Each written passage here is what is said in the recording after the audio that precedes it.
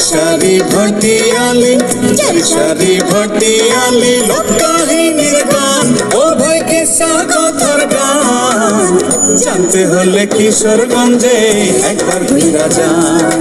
চারি সারি ভাটিয়ালি লোককাহিনীর লোক কিসা কথার গান জানতে হলে কিশোরগঞ্জে একবার ঘুরা যান। জানতে হলে কিশোরগঞ্জে একবার ঘুরা যান।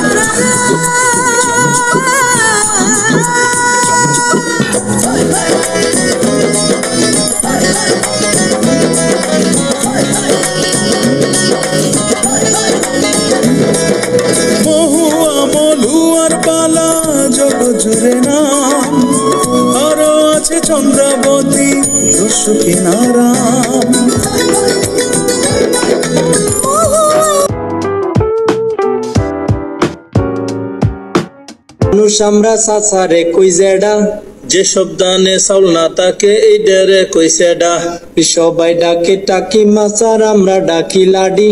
সার গরু রে দেহা কই আর বকরি রে কই ফাডি। হেই, মসজিদ রে কই মসজিদ এবং বাতি রে কই বাতি। ডাকনা রে কই ডাহুন আমরা সাতারে কই সাত্তি হেই, সবাই যারে ঝাড়ু ডাকে, এই ডারে কই হাসুন।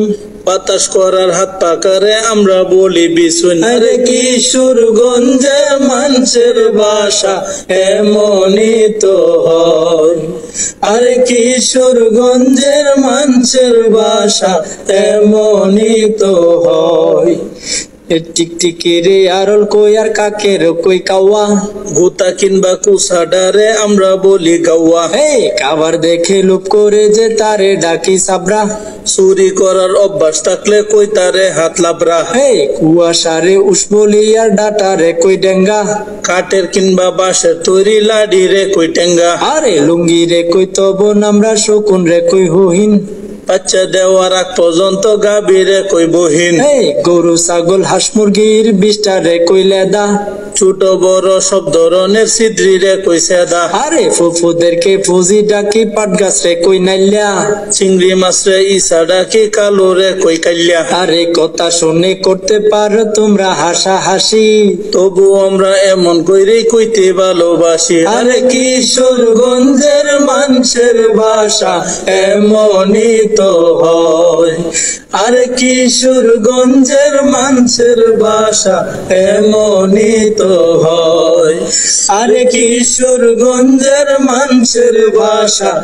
এমনই তো হয়। উজান ভাটিরই মিলিত দ্বারা নদী হাওর মাছে ভরা। এভাবে কিশোরগঞ্জ জেলা আমাদের সবার কাছে খুব পরিচিত একটি জেলা। এই জেলা বাংলাদেশের মধ্যাঞ্চলের ঢাকা বিভাগের একটি প্রামাণিক প্রামাণিক অঞ্চল এবং ঢাকা বিভাগের সর্বশেষ জেলা এই কিশোরগঞ্জ। উপজেলার সংখ্যা অনুসারে কিশোরগঞ্জ বাংলাদেশের একটি শ্রেণীভুক্ত জেলা। এই জেলা ঢাকা বিভাগের দ্বিতীয় বৃহত্তম একটি জেলা। কিশোরগঞ্জ জেলা হাওর বাউড় এর জন্য বিখ্যাত।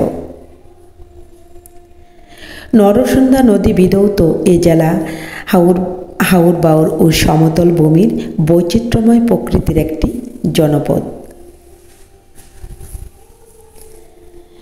আসসালামু আলাইকুম। Welcome back to my channel আমি মনোয়ারা মণি। কেমন আছেন সবাই? কাছে এবং দূরে দেশ এবং দেশের বাইরে যে যেখান থেকে আজকে আমার ভিডিওটি দেখছেন এবং যে দেখছেন না, তাদের সবাইকে জানাই স্বাগত।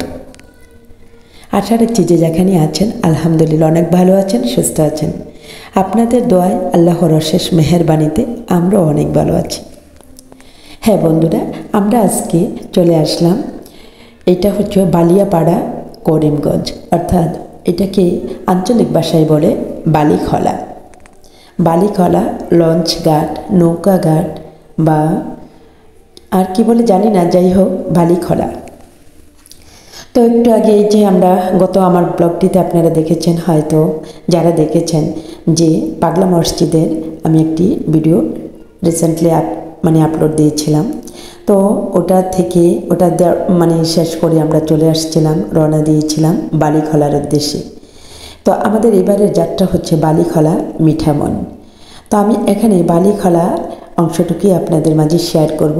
এখানে যে চারপাশের হাওর বাউর বিল, ঝিল, এলাকা তো জেলেরা কীভাবে মাছ ধরে, তাদের মাছ ধরা এবং নৌকো ইত্যাদি আমি আজকের ব্লগে শেয়ার করতেছি। তো এই তো বন্ধুরা, আমরা একটু আগে এসে নেমে গেলাম। তারপরে গাড়ি পার্কিং করে আমরা আসলে এখানে নিজস্ব একটি গাড়ি নিয়ে আসছিলাম। আমরা যেহেতু কুমিল্লা থেকে আসছি, কিশোরগঞ্জ, তো আমরা একটা হাইক্স ভাড়া করে আসছিলাম। তো এখন আমরা গাড়িটা পার্কিং করে চলে যাচ্ছি।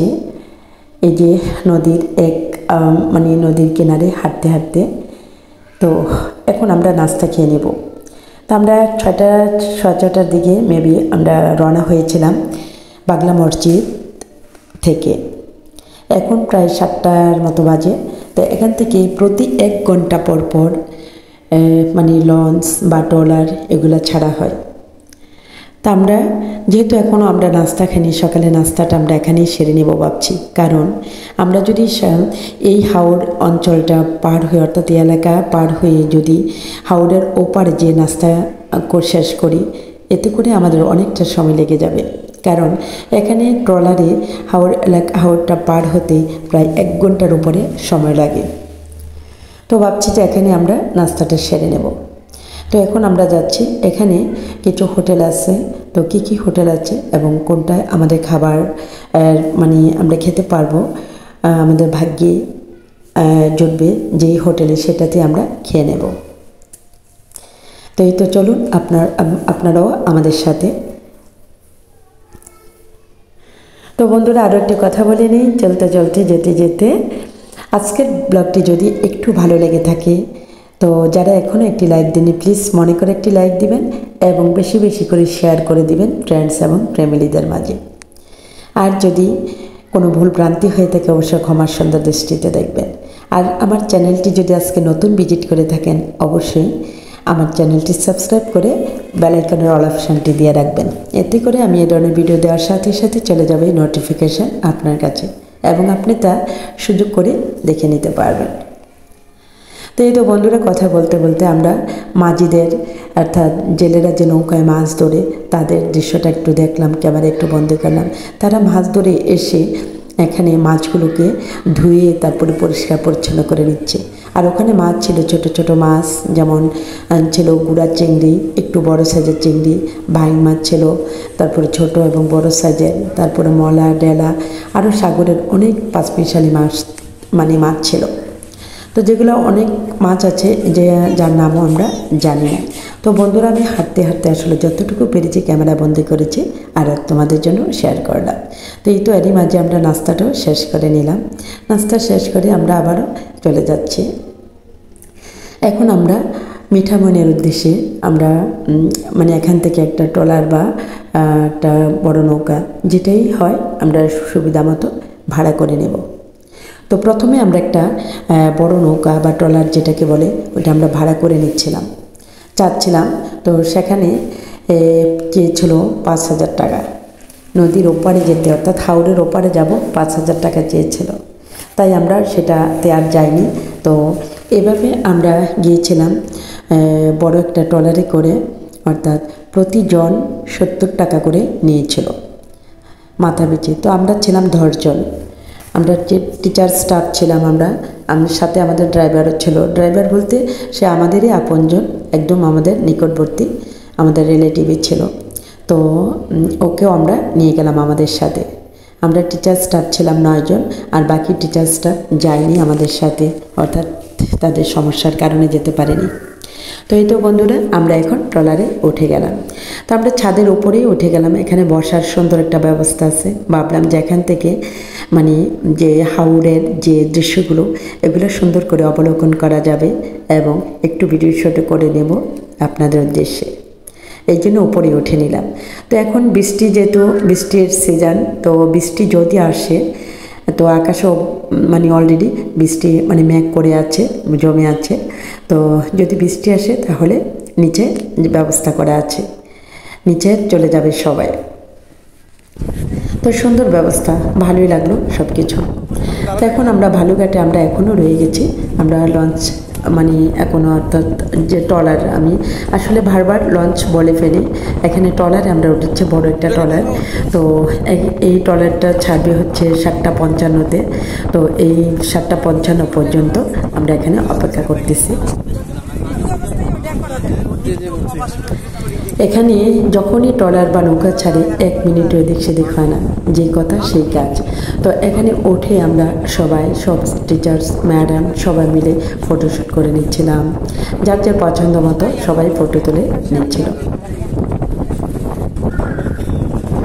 আর এতটা পরিমাণে বাতাস ছিল মানে কি বলব? মানে বাসা খুঁজে পাচ্ছিলাম না, এতটা আরামদায়ক জার্নিটা ছিল। যদিও অনেক কষ্ট হয়েছিল আমাদের, কিন্তু কষ্টটা একটু আমরা বুঝতে পারিনি। কোথায় যে কোন দিক দিয়ে কষ্টটা চলে গেছে আসলে। তো এই ধরনের বিনোদন আসলে কার না ভালো লাগে বলুন তো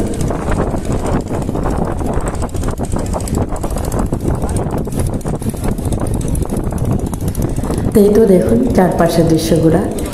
নদীতে অনেক, অর্থাৎ হাওড়ে অনেক মানে ঢেউ আছে ঢেউ আছে। তো এই ঢেউগুলো স্বাভাবিক ছিল। তো স্বাভাবিক হলো মানে মাঝে মধ্যে ঢেউগুলো খুবই বড় বড় আসে। তো যখন বড় মাঝখানে চলে যাবে তখন আমরা মানে বসে পড়ব। তো বন্ধুরা, এই পর্যন্ত যারা আমার ব্লগটি দেখতেছ যারা এখনও একটি লাইক দেবে প্লিজ মনে করে একটি লাইক দিবে শেয়ার করবে ফ্রেন্ডস এবং ফ্যামিলিদের মাঝে।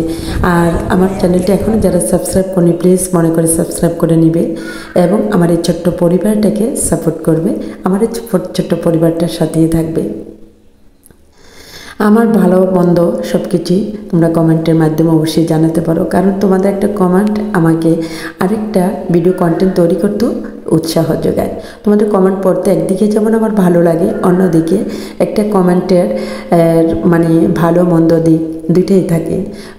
তো তোমরা দুইটাই জানাতে পারো, কারণ ভুল থেকে মানুষের শিক্ষা হয়, আমারও ভুল ভ্রান্তি হতে পারে। তো তোমাদের কাছে যে জিনিসটা ভুল বলে মনে হবে, তোমরা অবশ্যই আমাকে যদি ক্ষমা সুন্দর দৃষ্টিতে দেখে দেখে আমাকে ক্ষমা করে দিও। আর আমার পাশে থেকে আজ এ পর্যন্তই। আল্লাহ হাফেজ।